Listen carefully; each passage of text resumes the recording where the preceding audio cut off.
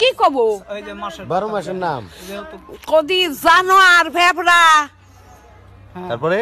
আরফিন তারপরে? মেঘ। তারপরে?